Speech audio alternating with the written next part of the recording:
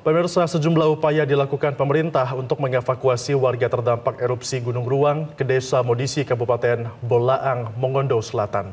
Pemerintah pun menegaskan bahwa Pulau Ruang kini sudah tidak layak untuk ditempati. Berikut wawancara rekan Amanda Komaling bersama Kepala BNPB Letjen TNI Suharyanto. Saat ini saya bersama-sama dengan Kepala BNPB Letjen TNI Surhayanto. Uh, Bapak Suharyanto ini baru selesai mengunjungi Pulau Siau, begitu juga dengan Pulau Tagulandang yang kedua-duanya ada di Kabupaten Kepulauan Sitaro. Melihat langsung kondisi dari pengungsi, ada yang mengungsi dari Pulau Tagulandang ini dan masih menempati di Pulau Tagulandang ini. Selamat siang Bapak. Siang.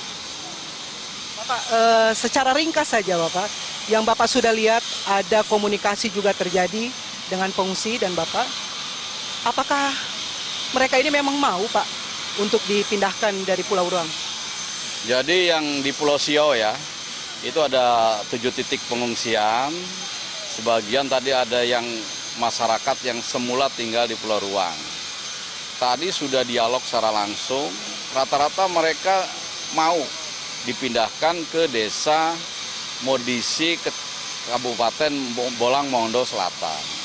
Kenapa mereka mau? Mereka paham karena ada juga yang pernah mengalami dua kali, yaitu di 2022, ulangi di 2002 dan 2024, jadi 22 tahun. Di 2002 mereka mengatakan tidak sebesar kemarin, tanggal 17 dan tanggal 30 April. Sehingga sepakat bahwa apabila masih bertahan di Pulau Ruang, itu keselamatan mereka tidak terjamin. Kemudian di Desa Tanggulandang, ya, ulangi di Pulau Tanggulandang, Tadi masih ada sekitar 30. Sore ini juga mereka akan e, dievakuasi keluar ke kota Manado. Mereka juga mau, hanya ada beberapa keluarga yang menanyakan, kira-kira boleh nggak kalau kami mengungsi atau tinggal pindahnya tidak di desa Modisi, karena dia punya tanah, punya saudara, baik di Manado, di Bitung, di Pulau Tanggulandang atau di Siau. Boleh, kita katakan boleh. Karena sifatnya ini kan tidak paksaan. Tapi bagi yang tidak punya apa-apa, dia tetap mendapat rumah dan tanah perkebunan di tempat relokasi yang baru. Yang masih mau tetap tinggal di sini, itu nanti pembiayaannya apakah juga masuk di dalam pembiayaan BNPB atau swadaya sendiri? Yang masih tinggal di sini dia dapat pembiayaan apabila rumah rusak berat. Jadi tanahnya mereka punya sendiri, rumahnya dibangun oleh pemerintah. Kategori rusak beratnya itu seperti apa, Pak? Ya kalau yang di Pulau Ruang udah hancur semua, udah kebakar, ya itu namanya rusak berat. Ya itu berarti dia nanti ditunjukkan tanahnya, kita beri uang untuk rusak berat 60 juta. Kalau mereka punya tabungan, ditambahkan di situ hingga mempunyai rumah yang lebih bagus.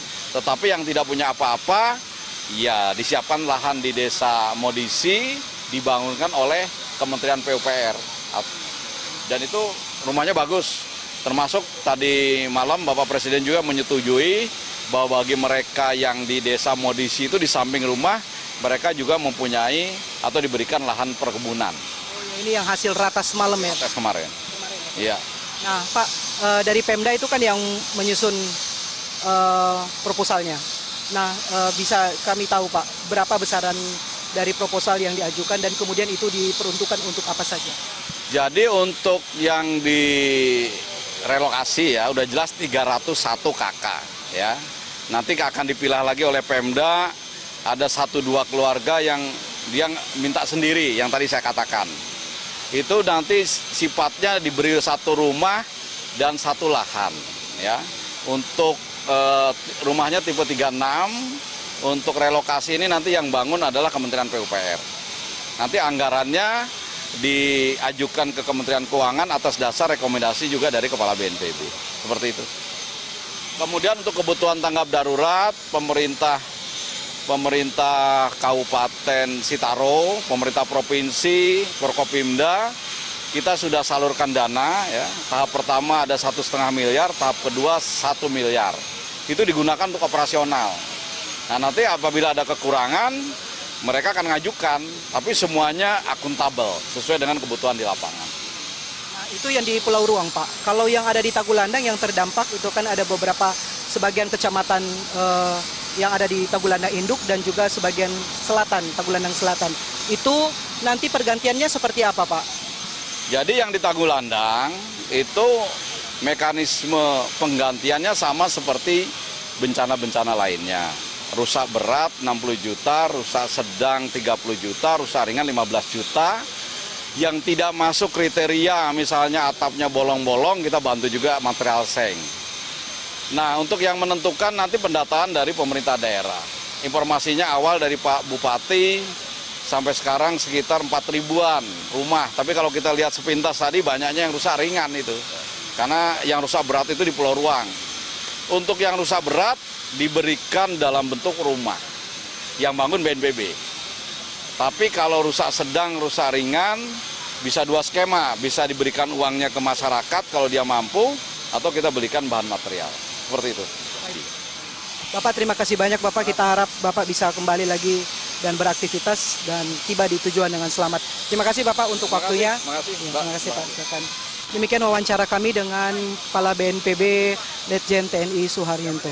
Jelajahi cara baru mendapatkan informasi. Download Metro TV Extend sekarang.